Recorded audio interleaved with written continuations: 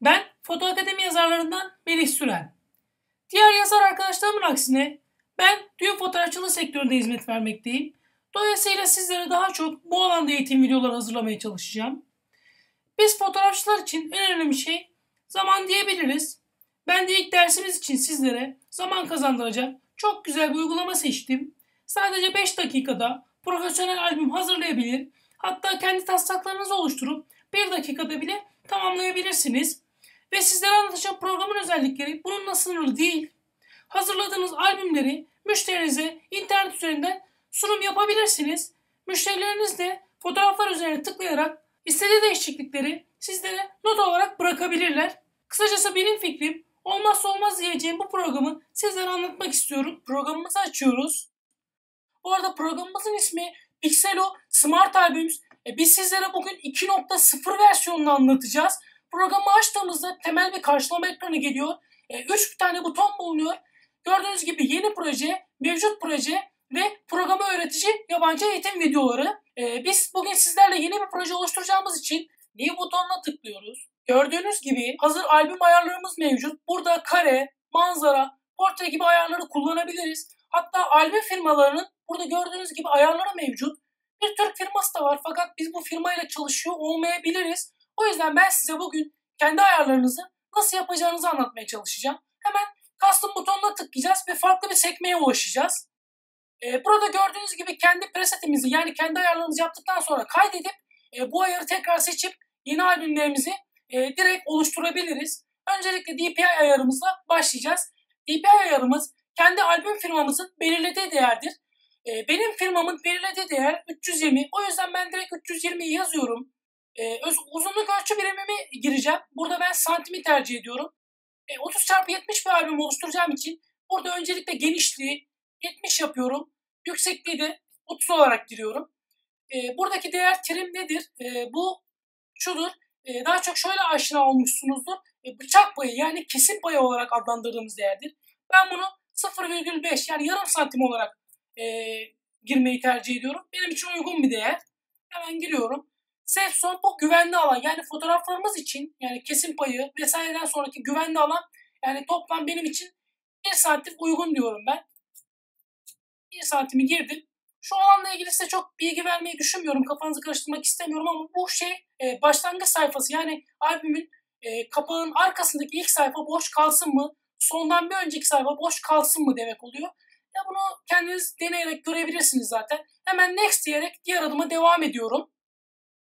Burada gördüğünüz gibi bütün template'ler var. E, kendi template'lerinizi seçebilirsiniz ya da bütün template'leri görmek isteyebilirsiniz. Bu böyle kalsın bence. Border, e, fotoğraflarınızın etrafına border atmak isteyebilirsiniz. E, buradan hazır ayarlar var ve kendi ayarınızı da oluşturma imkanı sağlıyor size program. Background rengini değiştirebilirsiniz e, sayfaların. Sayfa arkasına fotoğraf atabilirsiniz. E, bu sizin tercihiniz. Tabii ki ben beyaz olarak kullanacağım standart olarak. E, burada da fotoğraflarınızın yani daha doğrusu iki fotoğraf arasındaki mesafeyi girmenizi söylüyor. Ben bunun için 10 punto açıkçası benim için e, güzel bir değer. Ben 10 punto olarak seçiyorum ve start diyerek albüm çalışmalarını başlatıyorum arkadaşlar.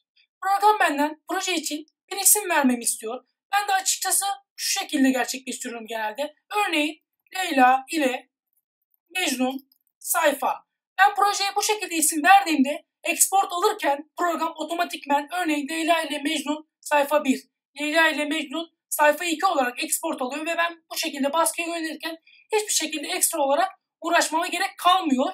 E, size de bu şekilde öneririm. Özellikle çiftlerin ismini yazarak basit bir şekilde e, karışıklıkların önüne geçebilirsiniz. Sev diyerek e, çalışmaya başlıyorum. Evet arkadaşlar programımız açıldı. Gördüğünüz gibi çok basit bir arayüze sahip.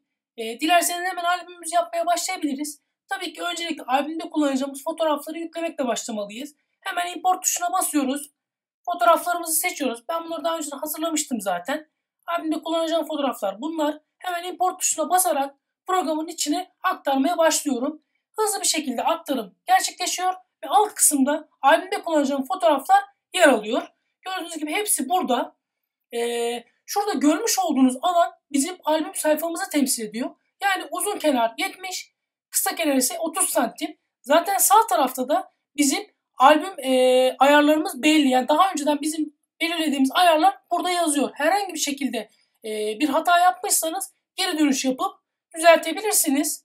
E, şimdi isterseniz albümümüzü yapmaya başlayalım. Albümümüzün ilk sayfasına ne alacak fotoğrafları komand tuşuna basılı tutarak seçiyoruz. Ben buradan rastgele fotoğrafları seçip bu şekilde basit olarak sürükle bırak yöntemiyle sayfanın üzerine bırakıyorum.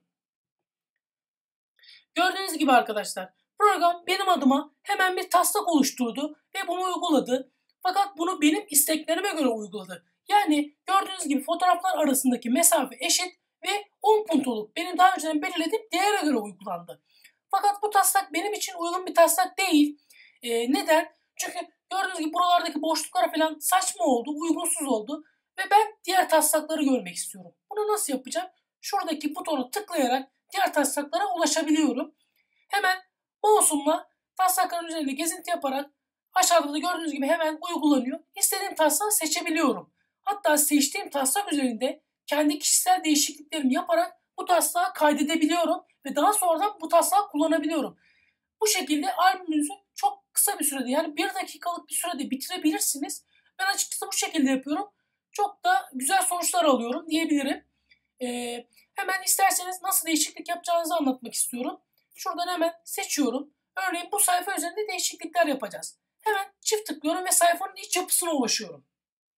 Şimdi öncelikle sizlere kırmızı ve yeşil çizgilerin ne anlama geldiğini anlatmak istiyorum.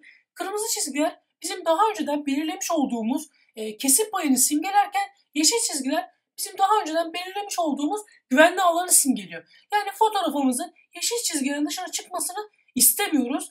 Fakat burada gördüğünüz gibi fotoğrafımız e, kullandığımız taslak sebebiyle e, yeşil çizgilerin dışına taşmış. E, tabii ki bu tercih sebebidir. Siz bu şekilde de kullanabilirsiniz. Fakat biz bunu nasıl düzelteceğinizi göstereceğiz. Öncelikle fotoğrafımızın üzerine bir kere tıklıyoruz ve etrafında bir transform oluşuyor.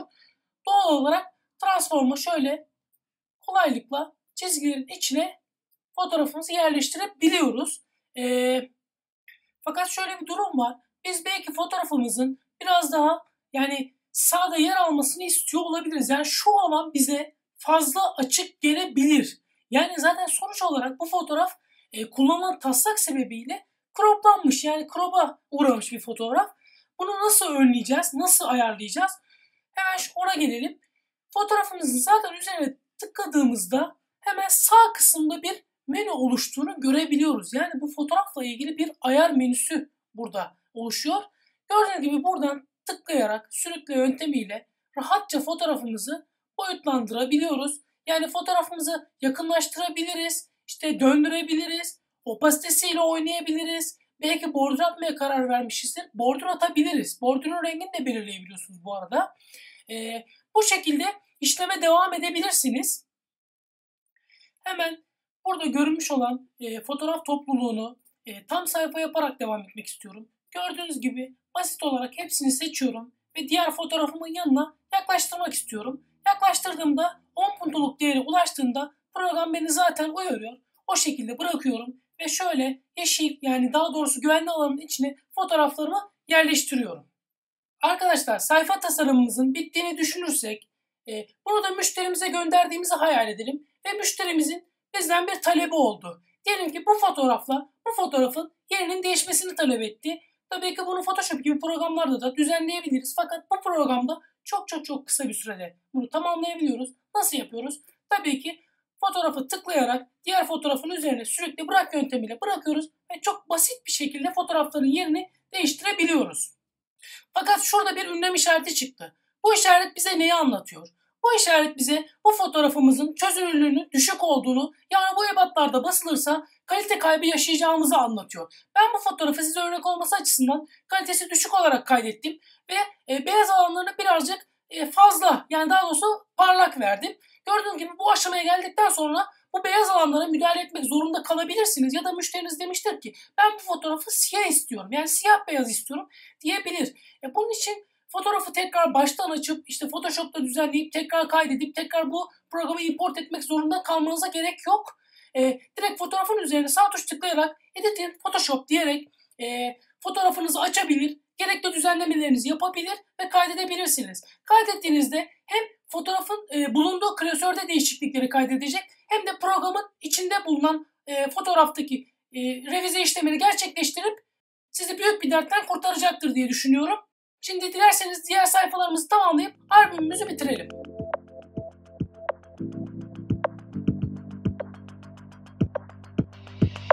Arkadaşlar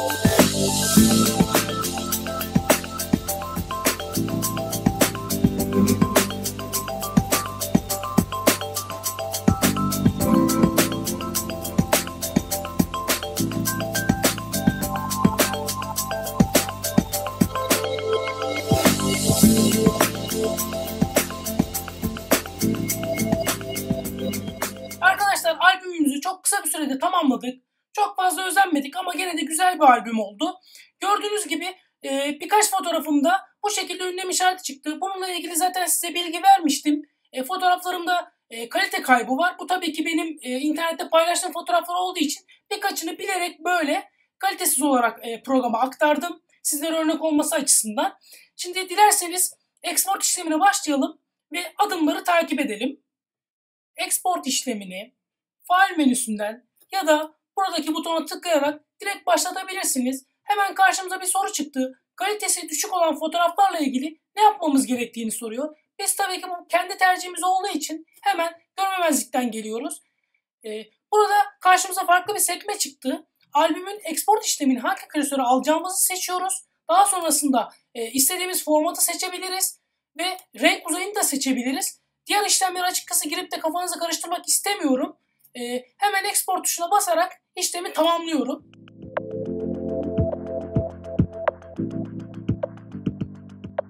Evet işlemimiz tamamlandı. OK tuşuna basıyoruz. Ve gördüğünüz gibi hemen karşımıza pencere açıldı. Belirlediğimiz klasörde albümümüz oluştu. Gördüğünüz gibi hemen açalım. Gayet güzel, hoş bir albüm oldu. Sayfaları oluştu.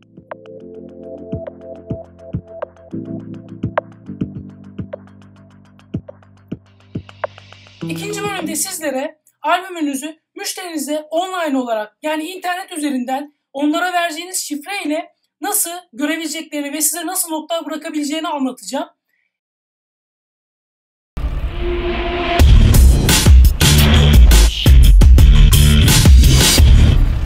Arkadaşlar tekrar merhaba. İkinci bölümümüzde sizlere nasıl sanal albüm oluşturacağınızı, oluşturduğunuz albümü müşterilerinizle nasıl paylaşacağınızı ve müşterilerinizin size bıraktığı notları nasıl göreceğinizi anlatacağım. Hemen işlemlerimize başlıyoruz arkadaşlar. Öncelikle export tuşuna basıyoruz. Adımları takip ediyoruz. Bir önceki dersimizin aksine bu sefer sanal albüm oluştur seçeneğine tıklıyoruz. Gördüğünüz gibi tıkladık ve burada yeni bir albüm oluşturacağız. Zaten başka bir seçenek yoktur. Ve benden program Sharp'ın değerini istiyor. Sharp'ın değerini neden istiyor? Çünkü ben programa diyebilirim ki bunu düşük kalitede yükle. Ben düşük kalitede yüklersem bu sefer Sharp'ın değerini arttırmam gerekecek. Çünkü yoksa fotoğraflar çok kalitesiz gözükür. Ben %100'de kullanacağım. Medium benim için yeterli bir değer. Hemen export tuşuna basarak adımlara devam ediyorum. Gördüğünüz gibi program benim adıma albümün adını yazdı. Ben sadece şimdi bir şifre belirleyeceğim. Hemen şifremi yazıyorum. Ve next tuşuna basarak adımları takip ediyorum. Gördüğünüz gibi bu sefer program benden albümün e, paylaşılacak ismini yani müşteriyle paylaşılacak ismini soruyor. Ben hemen buraya gene aynı şekilde Leyla ve Mecnun diyorum. Bu sefer benden müşterimin mail adresini istiyor. Ben kendi mail adresimi gireceğim. Hemen buradan girdim. Ve next tuşuna basarak adımları takip ediyorum. Bu bölümde müşterimize bir mesaj yazabiliriz. Tabii ki tercih sebebidir. Ben örneğin mesaj yazmayacağım ve upload işlemini tamamlayacağım. Finish diyorum. ve beklemeye devam ediyorum.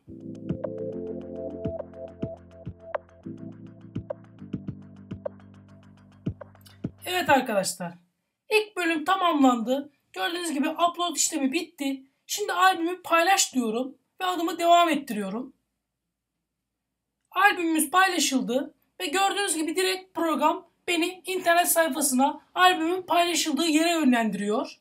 Bu arada müşterinize de aynı şekilde bu albüme ulaşabileceği link, e, şifre ve sizin yazdığınız mesaj iletiliyor mail yoluyla. Aynı şekilde o da albüme girip e, size değişiklikleri yazabilir veya albüm tamamlandı şeklinde size not bırakabilecek. Gördüğünüz gibi albümümüz açıldı ve incelemeye başlayabiliriz. Gördüğünüz gibi çok şık, çok güzel bir e, platform diyebilirim. Az önceki yazdığım isim yani albümün ismi zaten burada yer alıyor. E, değişiklikler yapmak için Edit'in Smart albüm istediğimiz zaman direkt programa geri dönüş yapıp revize edebiliyoruz. E, şöyle bir olay var. Buradan kendimiz de programa notlar yazabiliyoruz. Daha doğrusu müşterimize not bırakabiliyoruz. Gördüğünüz gibi buradan notumuzu yazarak atıyorum bu 7. sayfaymış. 7. sayfaya bir not bırakabiliyoruz müşterimize. E, aynı şekilde müşterimiz de fotoğrafların üzerine tıklayarak e, bize yani daha doğrusu sayfaların üzerine tıklayarak bize not bırakabiliyor ve biz bu notları buradan inceleyebiliyoruz. Gördüğünüz gibi ben kendi kullanıcı adımla girdim. Zaten siz programa giriş yaptığınız zaman e, size albüm ismini ve şifresini sormadan önce e, sizden bir giriş yapmanızı isteyecek. Oradan kayıt olarak kendi kullanıcı adı ve şifrenizi oluşturabileceksiniz. Birden fazla albüm yönetebilir. E, değişiklikleri yaptıktan sonra tekrar yükleyebilirsiniz ve müşterilerinizle profesyonel olarak iletişim kurabilirsiniz bu şekilde. Arkadaşlar dersimiz bitti. E, beni dinlediğiniz için teşekkür ederim. E, daha sonraki videolarımızdan haberdar olmak için Facebook ve YouTube kanallarımıza üye olabilirsiniz. Teşekkürler.